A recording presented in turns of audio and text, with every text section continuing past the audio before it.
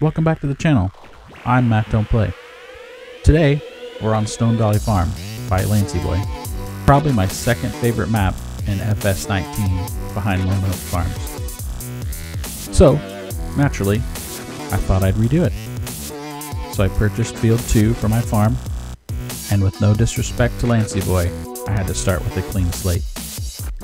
So I'm heading over to the chickens, gonna get rid of them. Bye bye chickens! Now I'm gonna sell off all the equipment. I thought about keeping it, but I decided I would take the money instead, use it towards the farm. If I do play this farm, I'm probably gonna make this a Kubota farm. Now with the new DLC out. I'm pretty excited about that. So leave a comment below if you think I should play this as a series using Kubota equipment. I think this would be a great map for Kubota to be featured on. I think the fields are the right size to show off the equipment. Maybe even make this a sheep farm and put that hay equipment to work as well. Let me know down below what you think. Okay, just a few little more cleanup items here before we start building. I like the pathway lights that uh, the Lancyboi added, but they just didn't fit with my build, so I had to get rid of them. Maybe I can find another use for them later on.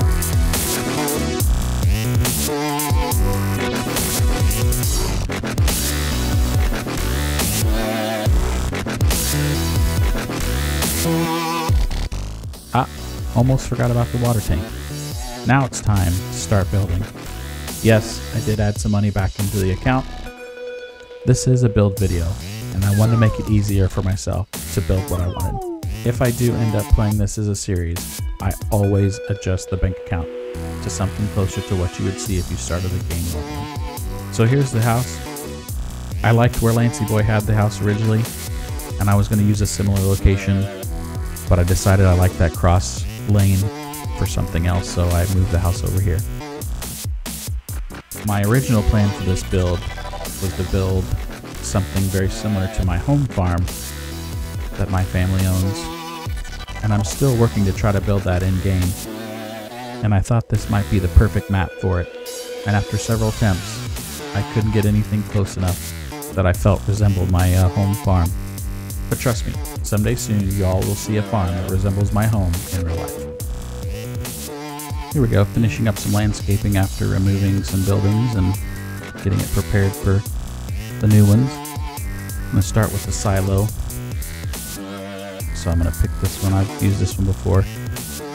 But uh, it's a small multi-fruit, which I like. I think it'll fit this area perfect. Now I'm going to go to a shop. I like this one. It's one I hadn't seen before. I don't think I've ever used this one. So I thought about putting it here next to the road, but it just felt too close. So I moved it over here, a little farther off the road, back out of the way. This is a really cool shop. I'll show you the inside of it later. For the most part, I will be using Stone Valley buildings that you get with the map. Gonna use this small single door shed right here. Probably use it for implements. And then I've got this red tin building. I kind of like the uh, mix match look of this farm right now. Last shed I'm gonna place is this open-ended building. You know, for my headers and uh, some more implements if I need some room. Clean up a little bit, just kind of getting some of the weeds and bushes that are in the yard. Make it looks like uh, someone lives here and takes care of the area. Expanding the yard just a bit, just to make it a little more square. I've had a few comments lately in some past videos saying my farms maybe are a little too perfect. And uh, I do kind of agree. I'm trying to make them a little more down and dirty. Trying to give them some different sort of character. And I'm working on it. I'm, I'm starting with this one. Trying to make it a little feel a little more lived in, used. So, so bear with me if, if you're one of those that have made those comments lately. I'm trying. Sometimes my OCD takes over a little bit and have a hard time putting some rough edges on it. And I'm trying to do that with this farm, just to see how it works. So let me know in the comments how you feel. Do you like the clean cut version of my builds? or are you wanting something a little more uh, rough and tumble, or maybe even a mixture of both? That works too.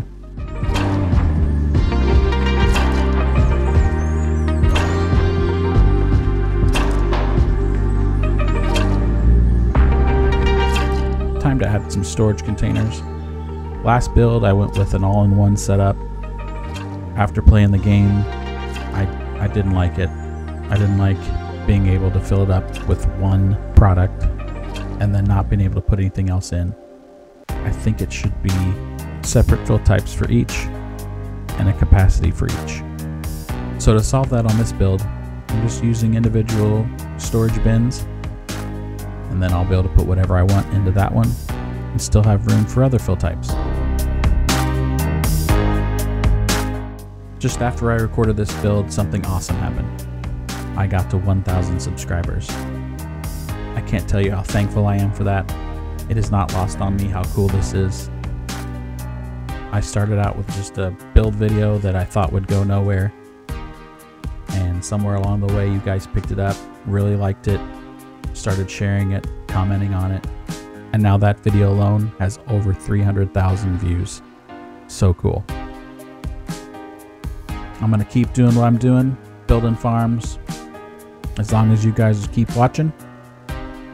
So again, thank you all. Everyone go out and tell a friend and let's add a thousand more.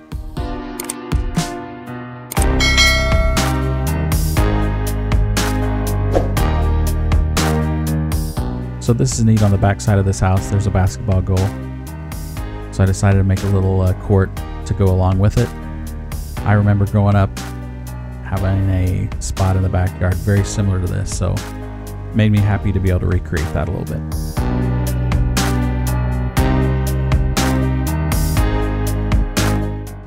So I wish there was a way to keep some of these uh, spots on the gravel or be able to replace them with something in your landscaping tools, but there just isn't. I, I really tried my best to keep them, but it just didn't look right to me having the brand new gravel next to the older gravel. So I cleaned it up a bit and I will come back later and I will see if I can make it uh, look a little more lived in. Went ahead and added two more storage bins just to make sure everything's covered and have plenty of space for storage.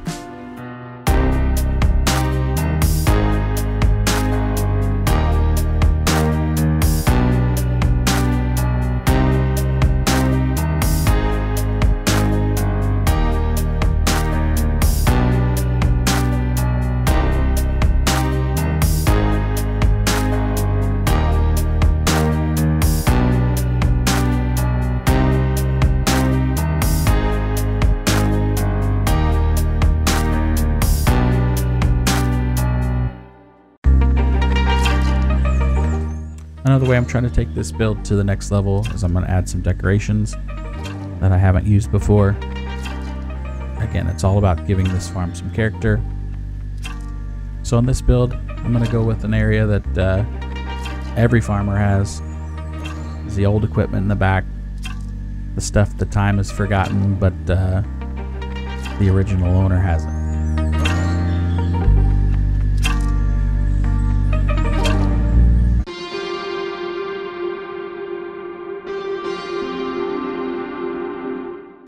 And since this is called Stone Valley, I thought it'd be kind of neat to add some actual stones. I have this in a pack and I've never used them before. And I thought, what a perfect place than, uh, than Stone Valley. So I threw a couple around the farmyard just to give it uh, that Stone Valley look. Added some more decorations. Got a little careless here and tried to place a barrel on top of a truck and screwed up the landscaping. So just wanted to show you how easy it is to get it back. You just delete it, use your slope tool, find the flat surface, just go back over it. It'll be like it never happened. Anyway, that gave me a reason to redo the truck. And park it behind the building is like if it just came off the field after the fall and was never used again.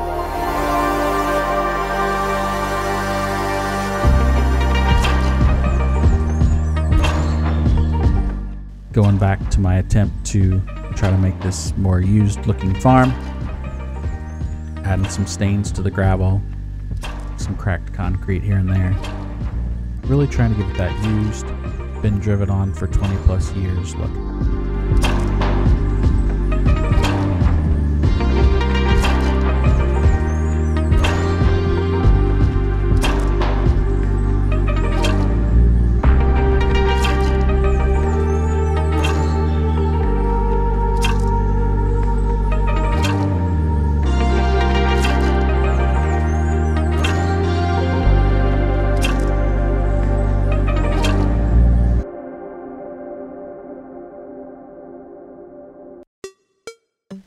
Love a in yard. It's a staple of most of my builds.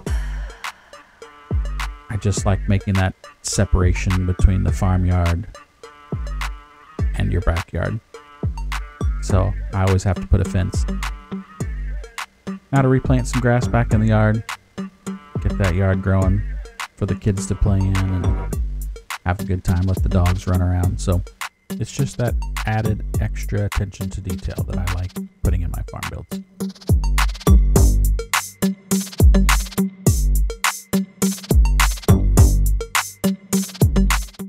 If you're still watching, that must mean you like the video. So please head down and hit that like button for me. It really helps me out. It's such a simple and easy gesture on your part, but it's huge for my channel and other channels like mine. So let me and all your other favorite YouTube creators know by hitting that like button.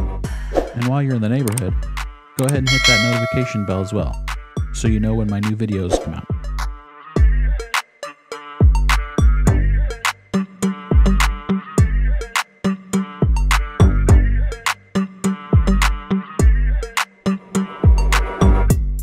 Okay, now here we go, hiding the junk pile.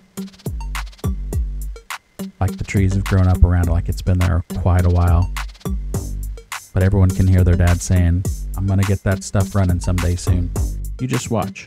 All it needs is some fresh gas and a new battery, and that thing will start right up. Just give me a day, and I bet I could use it this year. Sound familiar to anyone else? No? Just me?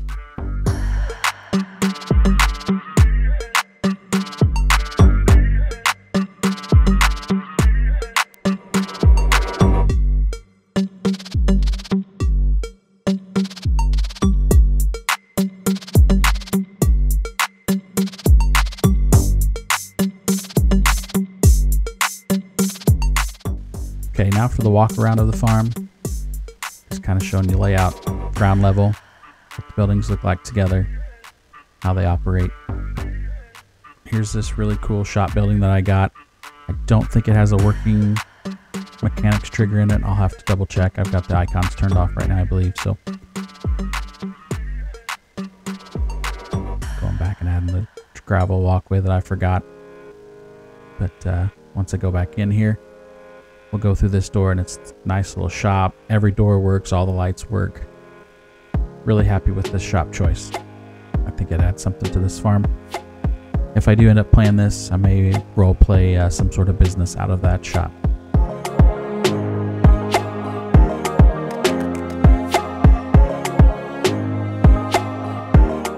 Now for my uh, quick flyover, just to give you a bird's eye view of it, how all the paths work together. I know we've kind of seen some of this in some of the during the build, but this is kind of the final version of it.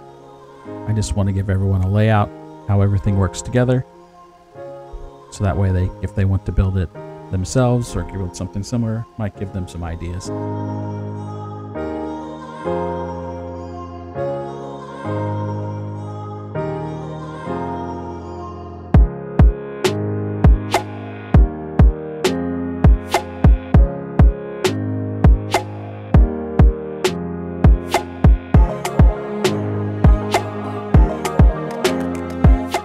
During my flyover, I noticed I needed a little path back here that gets back to this field.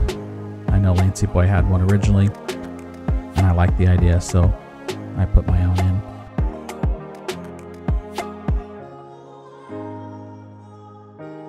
There you have it. I hope you enjoyed this farm build. I enjoyed making this one by getting out of my comfort zone and not trying to make everything so perfect. If you haven't already, please consider subscribing to my channel hit that like button, leave a comment on this video and all my videos. And even better, share it with a friend. Until next time, I'm Matt Don't Play.